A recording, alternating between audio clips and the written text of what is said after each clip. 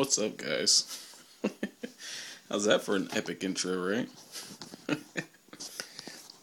anyway, uh, yeah, this is just Flood Man.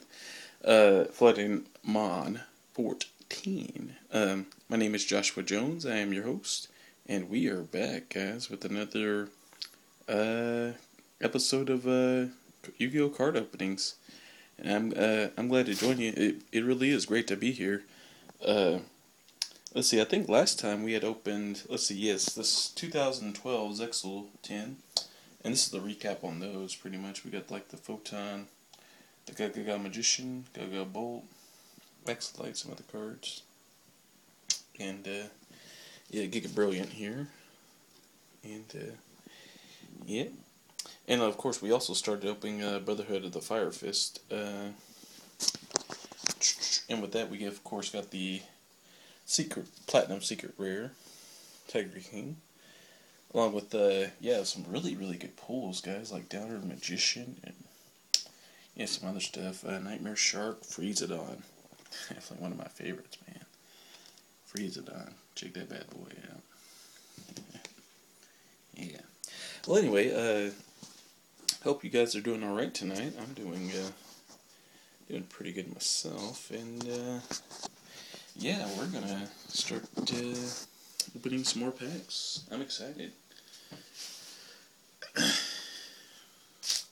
Uh, let's see. I think last time we only had one more pack to open out of this Mega Tin.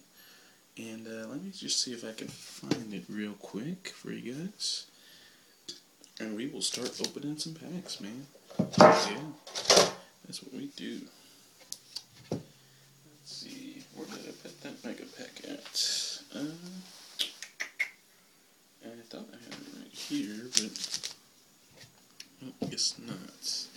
Well, anyway, guys, like, uh, I, I literally, well, I look for this pack, I literally just uh, got back from vacation, which, uh, from a, uh, a nearby, uh, a nearby city, and it was, it was pretty nice. Uh, it was just kind of like a, you know, a nice little family vacation, and uh, yeah, man, we had we had a great time. Uh, one of my uh, one of my family members graduated. Actually, we had two graduations uh, that I knew of this weekend, but I don't know about you guys, but as with graduations, uh, yeah, it tends to be a lot more people than you you know remember. Like, there's always, excuse me, but there's always like you know one or two people I forget and yeah, sometimes I feel guilty, but uh, what are you to do? Anyway, found the pack.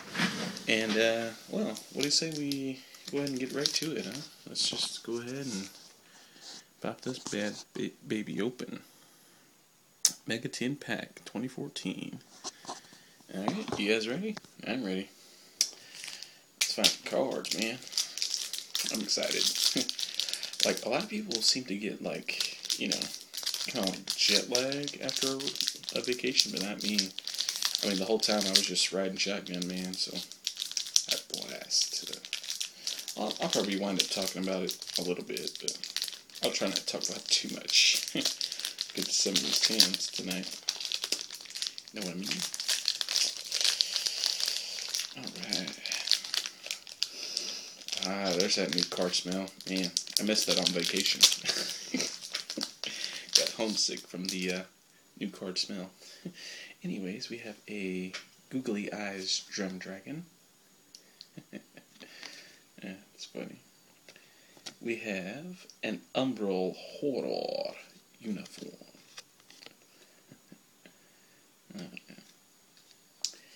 Uh, Umbra Horror. When this card is destroyed by battle and sent to the graveyard while attacking a monster, you can special summon two Umbral Horror monsters from your deck.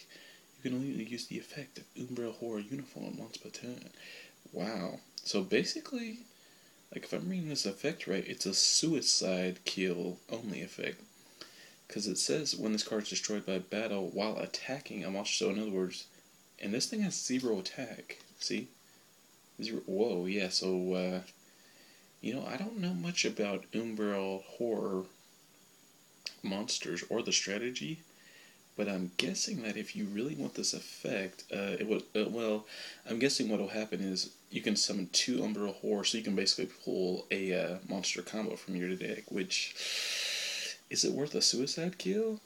Yeah, yeah, sure, yeah. You know, because you could always like combine this with the uh, Ojama Trio, for instance, and the final attack order. Uh, this is some of the strategy I was talking about last last time, and then you could always like eh, just boost, or well, no, you don't even have to boost Ojama Trio as long as you did Ojama the Ojama tokens and they were uh, face up in attack mode with final attack order zero attack. Yeah, zero attacking zero. Does it destroy itself? Eh, you know, I don't think it. Well, would it? You know, that's a great question. I think by the rules it wouldn't. But if you just increased, excuse me, oh, the Ojama tokens power to let's say eh, 100 or 200, yeah, not a bad effect uh, with a magic card. Hmm, okay. Yeah. Let's see if we find any more of those Umbral horror monsters. Maybe there's a good combo. But anyway, Bujingi Ophidian. Looks pretty cool. Another Bujinga monster. Ghostrick Stein. I don't think we have this one yet. Ghostrick Stein. Um, let me. Yeah, yeah. It's actually been a few days since I uh, since I opened these tins, so my memory is going to be a little uh, a little you know here and there, guys. Sorry about that. Uh, Madolce. Does that say?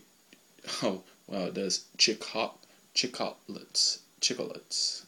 Madolce chocolates. Thought it said chocolates for some reason. And our next card is Five Brothers Explosion. Wow, really? This is a really good card. Oh, and uh, by the way, guys and ladies and gentlemen, sorry if I'm sort of whispering in this video. Not kind of yelling and, oh my god, he's not excited anymore. No, that's false. I'm definitely still excited. It's just that, uh, yeah, someone's in there she's trying to sleep, so gotta keep it down. Ain't nothing wrong with that. Anyway, Five Brothers Explosion, really good card. Uh, when this card's activated, you gain 500 life points for each continuous spell or trap you control. So basically, you're gonna get a lot of points when this card's activated uh, because of the way uh, Fire Fist decks work. So it's a really good card. Uh, and also, you could just use it by itself. You don't have to use it with the uh, Brotherhood cards. Always a thought. Uh, if this face-up card you control is sent to the graveyard by an opponent's card effect, inflict 500 points of damage to your opponent for each continuous spell or trap in your graveyard. That's... wow, that is whew, nasty. Man, and I tell you one of the best things about this card. Um, now, most of the time, your opponent will try to destroy whatever face-up continuous card you got. And this one they probably won't. They'll try to avoid it. But I'll tell you what you could do. Most players these days will run mm, Mystical Space Typhoon, something, you know, that just either targets one or two. And uh, there's actually a trap card called, uh, I think it's Fairy's Hand Mirror. Don't quote me on that, but it's one of the uh, hand mirrors. And what it does is change the effect of a spell or trap that targets to a target that you want to change it to. So if you can combine that card with this and the uh, and the Fire Fist strategy, yeah, man, that's that's nasty. Ooh. For each one in your graveyard, yeah, yeah, can that can be a an, a quick kill for sure. But yeah, I'll put that with the Brotherhood cards. Anyway, next card.